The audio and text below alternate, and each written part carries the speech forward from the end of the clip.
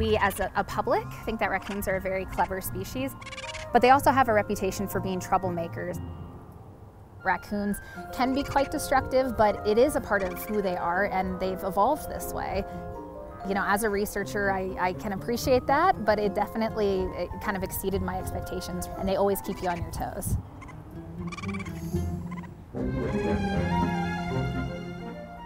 My name is Lauren Stanton, and I study animal behavior and cognition, and right now I'm studying the cognition of raccoons. In the early 1900s, they had all these great hypotheses about the intelligence of raccoons. But what happened was that they were kind of a handful to deal with in the lab, and so after a few years, researchers kind of threw in the towel. But it hasn't been until more recently that we're realizing how successful these animals are.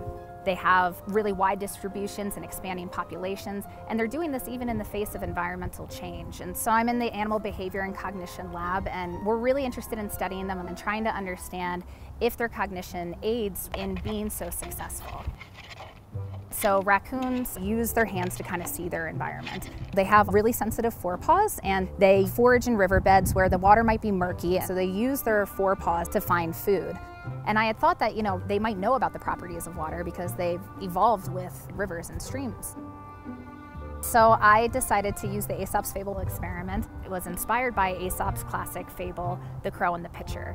So in the story, the crow understood I need to raise the water level up. I need to displace that water by using stones. And so we do this with animals where we train them to drop stones into an object that contains water and a floating, uh, really yummy food reward. And then you really get at their cognition and their causal understanding by giving them different choices. So perhaps a small stone versus a big stone. Or if you do a solid object versus a hollow object or a heavy object versus a light object.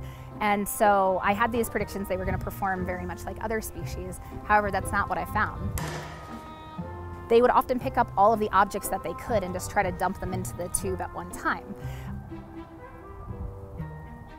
when they would pick the floating ball over the sinking ball, they'd drop it into the tube and then they'd stand on top of the tube and just spin the ball. And they were able to get their marshmallow reward without actually using the object that I had predicted and intended for them to use. And so it seemed like raccoons were very flexible in the choices that they made, and I think it really speaks to the character of raccoons. We first began with this Aesop's Fable experiment, and now we're moving on to doing different types of problem solving experiments, giving them different cognitive tasks and seeing how they perform at these tasks. In 2015, we started the University of Wyoming Raccoon Project. Our goal is to trap as many individuals as we can in this population. And then we know who that individual is and we can track their progress across our different experiments. And so once we've trapped a raccoon, we will process it, which means we immobilize it in order to take biological samples of interest for our project. We always take vitals, including heart rate, resp rate, and uh, temperature. But then we also give them a pit tag, and it's very much like a microchip that you would use, you know, in a dog or a cat. And so when we scan the raccoons, uh, they each have their own unique ID, and this allows us to identify individuals. And so it's a really, really helpful tool when we're doing uh, cognition in the wild experiments. So the next thing was giving them different puzzle boxes. So the puzzle box experiment is a box that has food inside of it and it's latched and it's closed and the idea is to look at how raccoons are able to problem solve in order to open the door so that they can receive the food from inside. It's a bolt latch that when it's locked, the animal can't access it by grabbing at the door or biting at the door. They have to actually grab the knob and push it to the right to pop the door open. In the first version of our puzzle box, we put many doors and many locks that were all uniform, and the idea was to study their learning by looking at how long it took them to open the first door to the second to the third.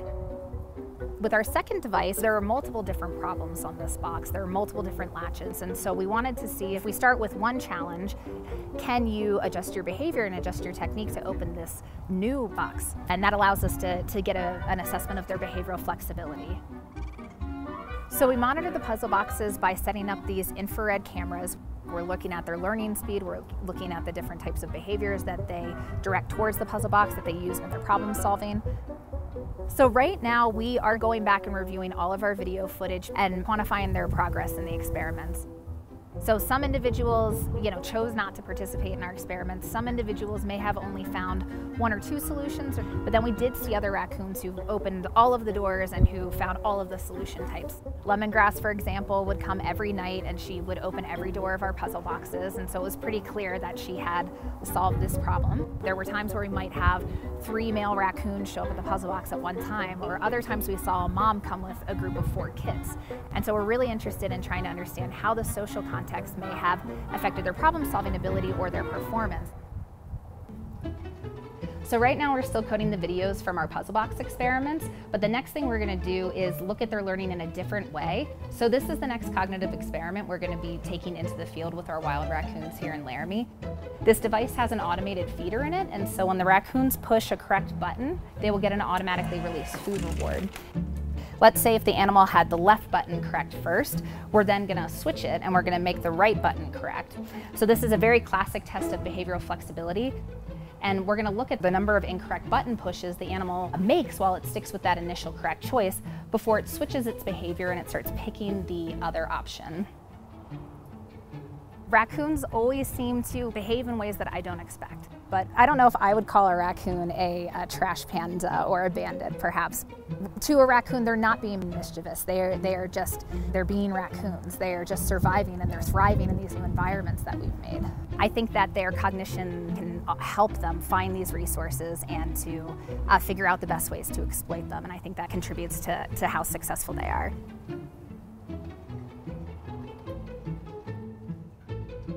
Hey there, this is Luke Groskin, video producer for Science Friday.